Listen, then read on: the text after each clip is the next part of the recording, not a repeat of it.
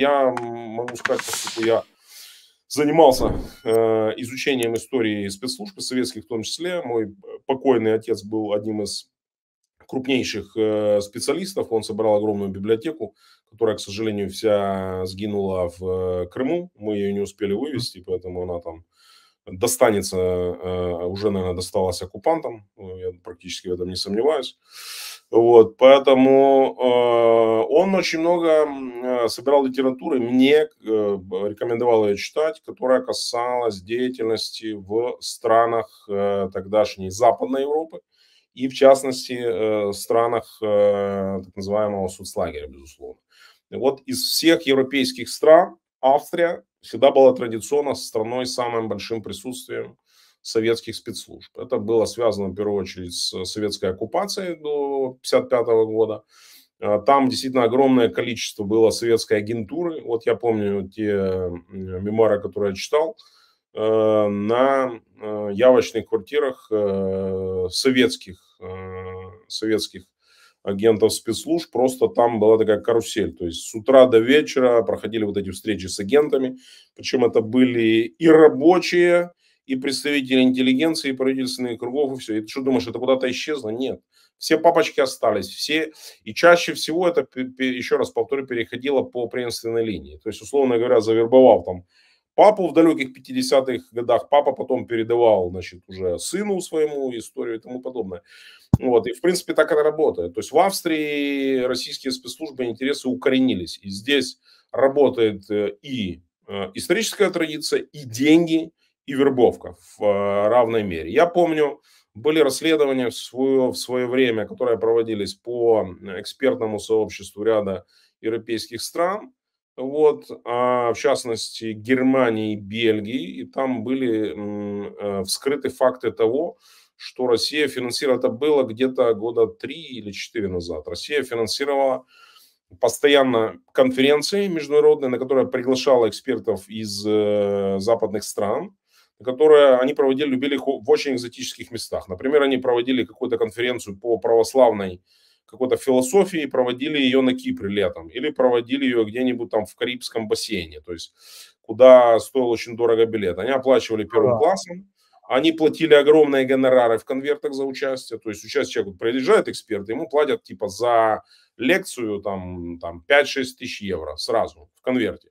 Вот, фигурировали такие суммы. И в значительной мере, э, вот ты, не знаю, видел, наверное, недавно поймали э, российского профессора, который работал в Тартусском университете в Эстонии. Uh-huh, он классический агент влияния, классический.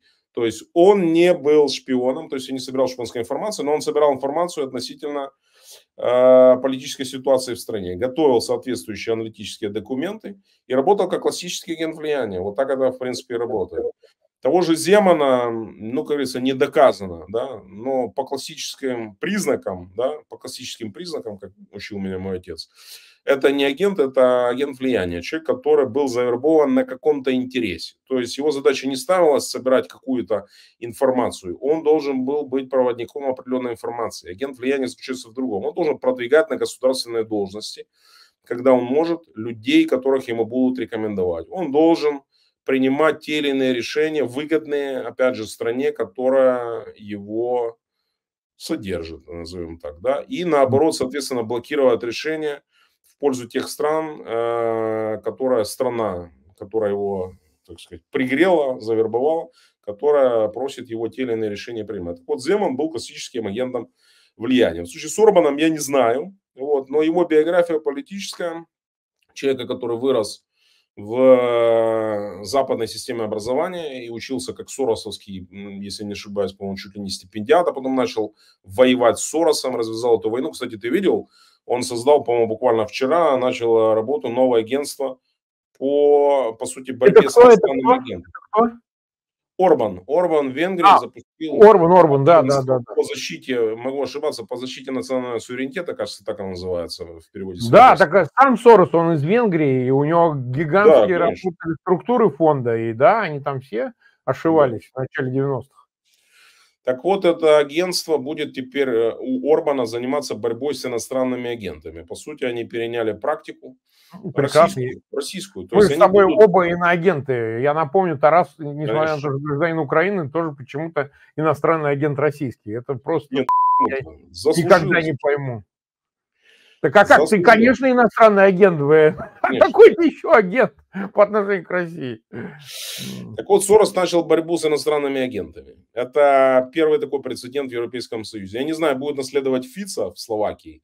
Он тоже как-то, вот, знаешь, подозрительно начинает двигаться в этом направлении. Но Фица это еще один персонаж, к которому надо очень серьезно присмотреться, опять же, с точки зрения его возможных связей с э, российскими спецслужбами. Я ни, ни на что не намекаю, но вот как бы я говорю, что есть очень интересные моменты его биографии, которым надо присмотреться более внимательно. Что делать, на твой лично взгляд? Вот тебя, как офицера ВСУ, что делать с такими то ли э, идиотами, то ли агентами, то ли агентами влияния и так далее? Как? Потому что э, мы не можем говорить, что они не влияют. Ну как не влияют, если Орбан э, торпедирует помощь Украине в ЕС, э, еще неизвестно, как будет голосовать по членству, хотя вот его за кофе послали, как вот стало расхожим это заседание знаменитое, где Шольц сказал, иди попей, сынок. Вот, а, и так далее. Но, но, но, но все равно проблема остается, она не решается, не решается ни путем, значит, э, публичного какого-то дефамации этих людей, значит, обвинений. Они спокойно, значит, встают, едят, э, серят, э, ложатся снова. То есть для них это вообще не проблема. То есть должен быть какой-то дискретный механизм, когда все, вас больше здесь не стояло. Потому что по-другому это уже не работает. Почему? Потому что цена война. Цена это не то, что, ой, вот вы симпатизируете Путину, еще каким-то людоедам. Ну, а извините, конкретные люди гибнут, не какие-то абстрактные, а конкретно каждый день, в том числе и косвенно или прямо из-за действий вот этих лиц, гибнут люди. Вот что в этой ситуации можно сделать? Может, санкции надо вводить, может, я не знаю, что, как ты это видишь? Ну, смотри, это точно не задача вооруженных сил, этим должны заниматься компетентные. Кто знает, кто знает. Контрразведка. Им нужно да. заниматься контрразведкой, явно не армейская, а политическая контрразведка, которая вот э, нам пишет как раз э, наша зрительница. Марина э, Процевская или Прочевская, я прошу прощения, если неправильно прочитал вашу фамилию, вы действительно напомнили, что был случай с депутатом от Латвии, Татьяна Жданок, депутат Европарламента, то есть аналогичная ситуация с, э, э, с связью с э, спецслужбами иностранного государства. Поэтому, поэтому, послушай, ну, мы ничего не изменим, то есть любые политические структуры, тем более, если мы говорим не национальные парламенты, а такая структура, как, например, парламентская ассамблея ОБСЕ, парламентская ассамблея Совета Европы, ООН, парламентская ассамблея НАТО, Европарламент, там, где есть люди из разных стран, там спецслужба работает намного сложнее, поскольку здесь приезжают, во-первых, депутаты э, десятков, парла... десятков стран, понимаешь? То есть э, это одна. У них у всех есть помощники, огромное количество персонала, которых обслуживают, журналисты, так называемые эксперты и тому подобное, среди которых, безусловно, всегда находятся сотрудники э, различных спецслужб. И не только российские, кстати. Ну, послушай, там работают все спецслужбы активные, нормальные. И французские, и британские, и американские, ну, так они, они работают в рамках своих, они же Конечно. Э, трудом представим, что они вербуют э, российских, соответственно, представителей спецслужб, которые заполняют дипломатические все эти организации. Пожелаем им удачи в работе. Поэтому я всегда говорил, что, понимаешь, когда закрывают российские представительства, называя их э, гнездами шпи, шпиони, шпиона, значит, шпионажа, там, да. посольстве и тому подобное, это, знаешь, обоюдо, обоюдная модель. Да, э, абсолютное, наверное, большинство так называемых дипломатов российских являются э, кадровыми э, сотрудниками спецслужб, но это прекрасная почва для их вербовки. Пока они там находятся, и их вербуют, и потом они становятся ценнейшими источниками информации, в том числе возвращаясь назад в Россию, где они там, проходя проверки, которым их подвергают, впоследствии становятся ценнейшими агентами спецслужб. Поэтому, изгоняя э, представителей российских спецслужб, не всегда изгоняют э, только российских агентов. То есть часть, часть из них уже перевербованы, это двойные агенты. Они работают уже потом, как, э, причем с красивой легендой, да, был изгнан, объявлен персоном Ленинграда, значит, меня поймали, значит, спецслужбы там государства страны, на территории которой я работал. То есть я чистый, я патриот, а на самом деле он уже будет работать на наш интерес, у нас общий интерес всех, всех, всех цивилизованных стран. Вот, поэтому э, Первое – это работа спецслужб, да, безусловно, работа. Второе э, – большое количество информации собирается из открытых источников, так называемая асинт-аналитика. И мы видим примеры того, когда журналистские расследования или расследования вот этих аналитиков, собирающих данных э, из открытых источников информации, очень часто становились причиной раскрытия тех или иных агентов. Причем не обязательно завербованных, а агентов влияния.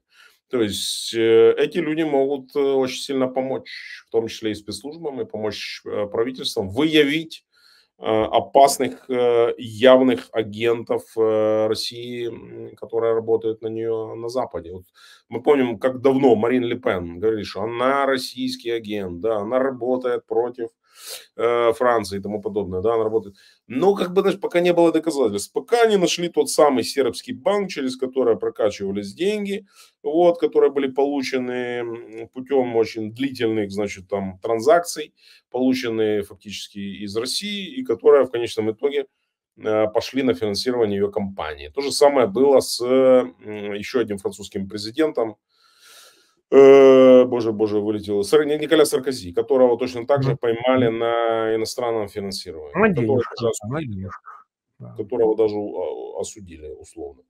Вот, поэтому открытые источники. Каждый, в принципе, человек, э, профессионально занимающийся сбором информации, тот же блогер, журналист-расследователь, он в силу своих профессиональных навыков, компетентности может участвовать то есть в поиске этих агентов.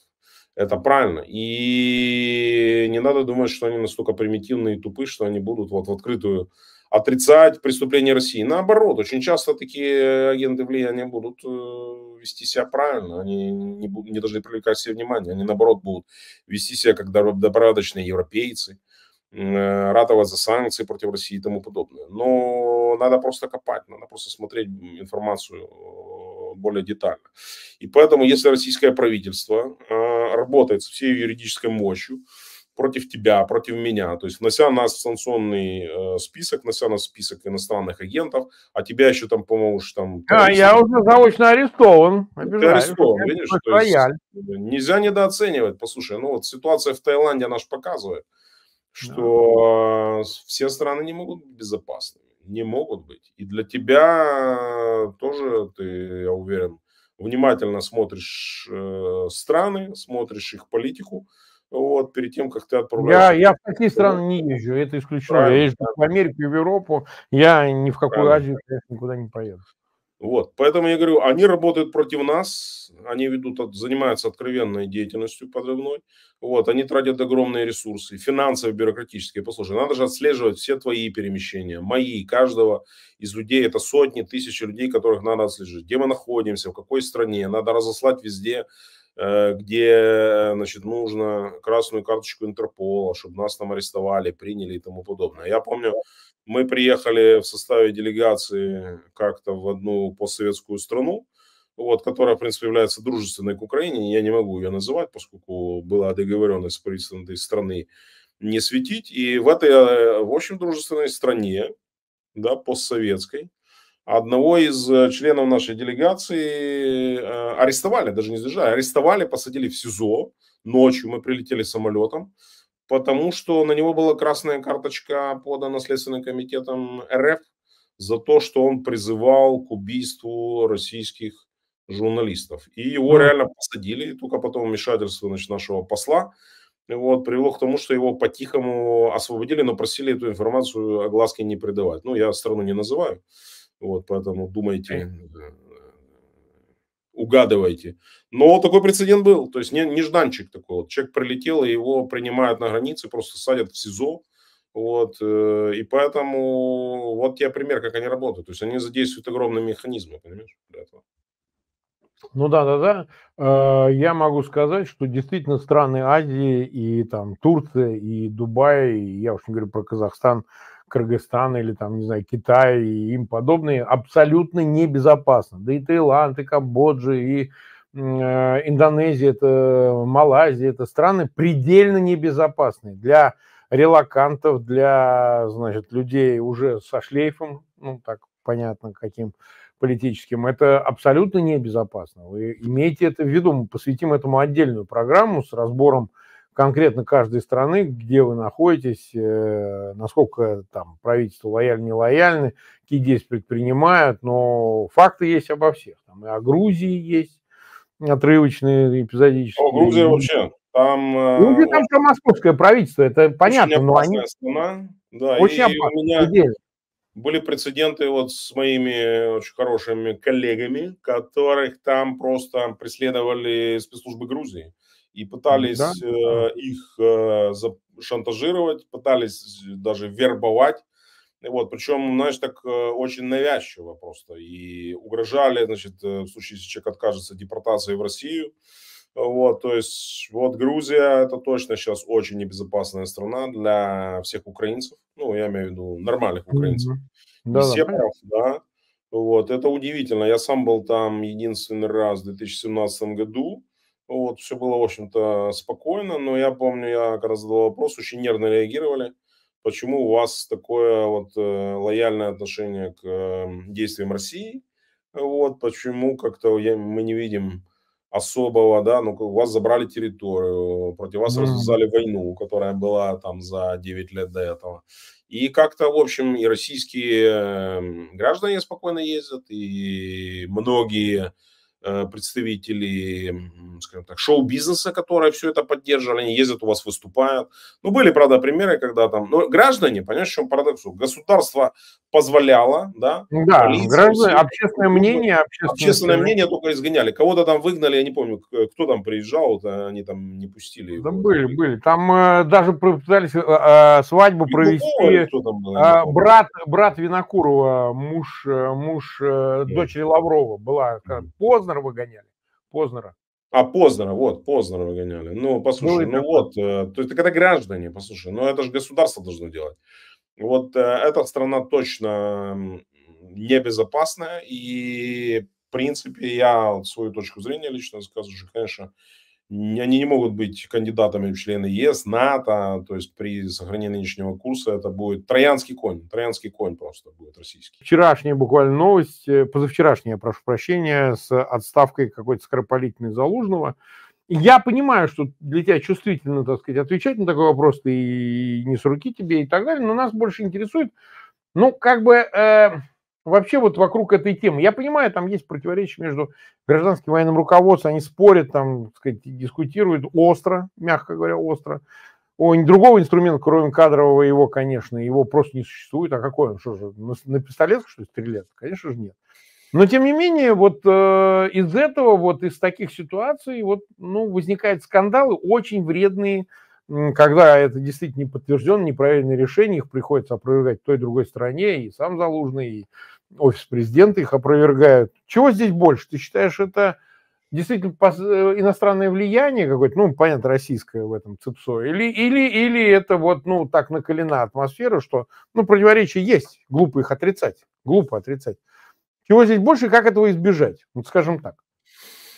Марк, э, ну смотри, как э, офицер ЗСУ я не имею возможности комментировать э, любые политические перестановки. Президент, как верховный главнокомандующий, имеет право принятия решений. Есть юридическая процедура. Президент может поменять в любой момент любого командующего с подачи ну, министра обороны. Согласно существующего законодательства, министр обороны подает соответствующие кадровые предложения, а президент э, либо поддерживает их, либо отклоняет. В данном случае не было никакой по э, подачи от министра Умерова на отставку главкома Залужного. Это юридический факт, об этом заявило Министерство обороны.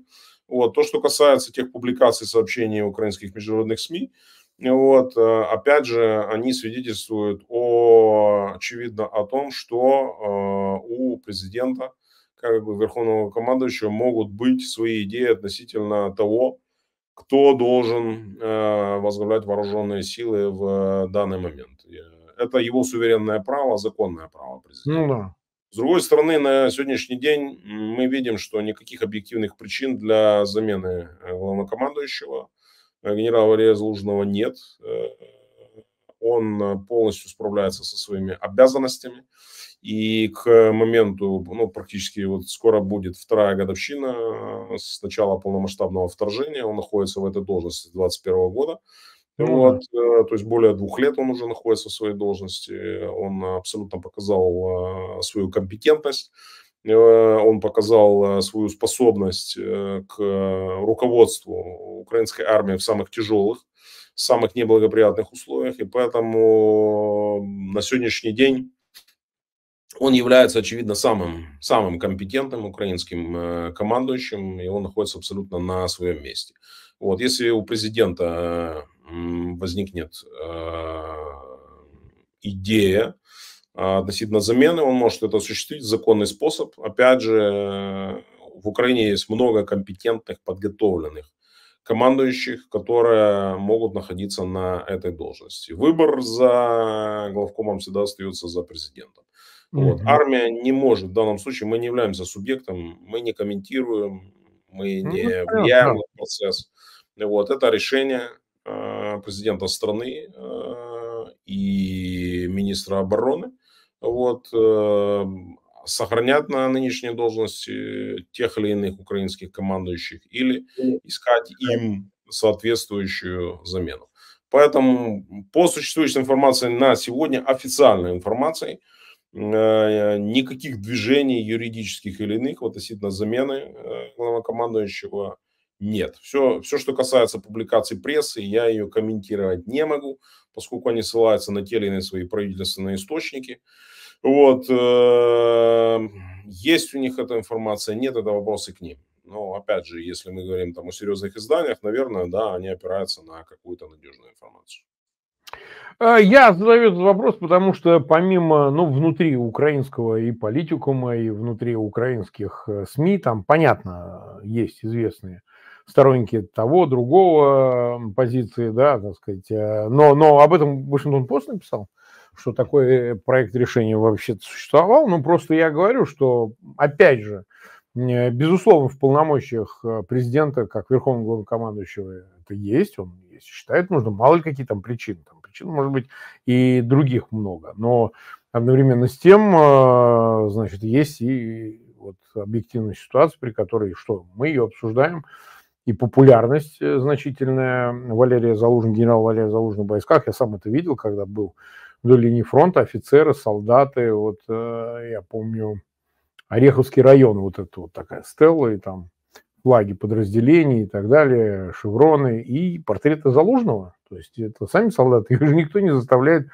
значит, делать иконостас Валерия Залужного. Это же как бы уважение к командующему. Так что, в общем и целом... Это посмотрим. разная популярность, Марк, это разная популярность. Главнокомандующий э, Залужный не является политиком. И ну да, безусловно. Его или других украинских командующих, например, э, командующий сухопутными войсками Сырского или начальника военной разведки Буданова, это нормально, когда они популярны среди военных и среди гражданских, поскольку у каждого из них за ними есть конкретные операции, успешные, операции проведения. И поэтому это не политическая популярность. Это нормально, когда во время войны, мы знаем, да, в странах-союзниках э, нормально, когда была популярность генерала там Монгомери, генерала Деголя, вот, победителей, генерала-победителя Второй мировой войны, вот, э, генерала Паттона, поэтому это другая популярность. То есть э, военный не, не, не занимается политикой. Это как бы разная популярность. То есть президента Зеленского сегодня самый высокий рейтинг